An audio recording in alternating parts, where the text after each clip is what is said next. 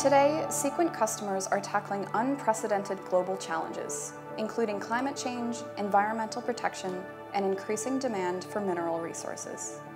These geoscientists are using technology to manage huge amounts of data and communicate with their stakeholders to make the right decisions and face project risks head on.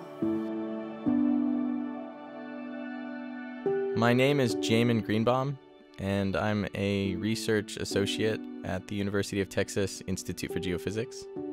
We use geophysical techniques to characterize the stability of ice sheets and better understand processes going on above and below the ice sheets. The, the goal is to, is to basically figure out um, how vulnerable the great ice sheets, and, and in particular for me, the Antarctic ice sheet, is to climate forcing and to natural variability. Antarctica is losing more and more mass every year, and uh, that mass is going into the ocean and raising sea level. We don't yet understand the processes well enough to predict them into the next two, three, four hundred years, and we need to. You know, around the planet, there's hundreds of millions of people that live within the first few meters of sea level rise. And many of those people are vulnerable populations already. We need to know soon when those people need to move so we can start telling those governments to start planning. In the next few years, I'd like to look back and, and feel very comfortable that we collected the best possible data in all the most important places to best predict sea level rise. This isn't a challenge for a single nation. This is a challenge for, for all of the nations.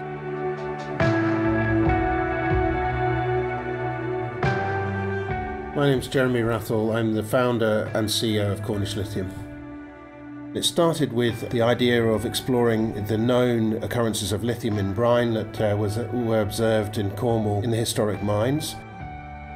Our project is in a relatively early stage of our exploration program. An early stage exploration and mining company faces a number of risks like geological, the risk of commodity markets which also overlays on that, uncertainties in terms of whether you can extract the product uh, commercially.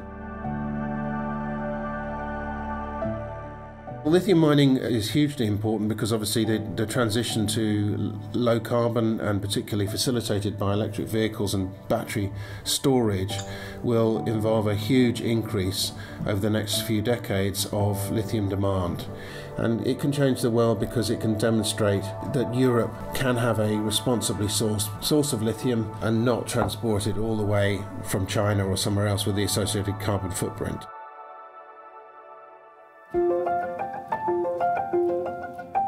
My name is Peter Yu. I'm a geoscientist in training at Matrix Solutions.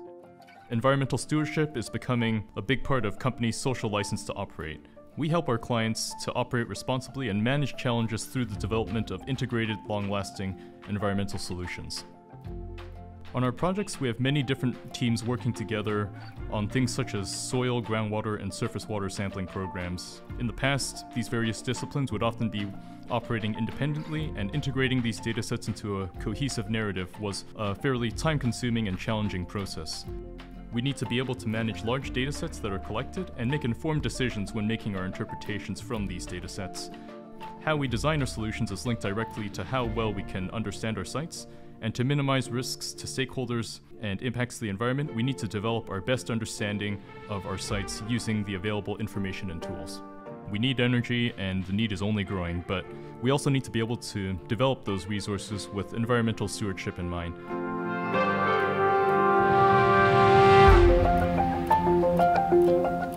My name's Shay Callan. I work at Biologic Environmental Survey. I'm the subterranean fauna technical leader at my company. Subterranean fauna assessments have really only been around in Western Australia for 10, maybe 15 years because the fauna were identified as living in geologies and hydrogeological settings that were of interest to mining companies. There was basically a push to regulate the environmental assessments and to draw up guidelines for mining companies to ensure that no species or critical habitats would be harmed as a result of mining. For mining companies, the risks are really on project delays, also project compliance issues. The way that we're able to better characterise the risks to biodiversity and the risks to the ecosystems that we're managing is an important step forward in more sustainable extraction of minerals and more sustainable resource use. There's only one planet. Unlimited growth is not possible.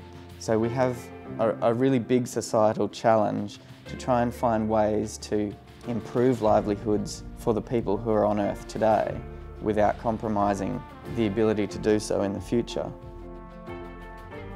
How we handle global challenges and mitigate these risks today will affect the environment in which our projects operate tomorrow.